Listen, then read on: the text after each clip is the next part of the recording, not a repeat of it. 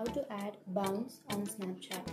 So if you want to add bounce on snapchat then uh, we don't have that feature on android. We have that feature only on ios. So i'll just simply give you the process. First open up your snapchat application.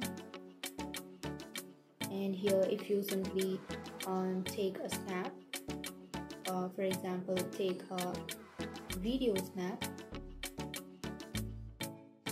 and after taking that snap now you can simply um, tap on that infinity button.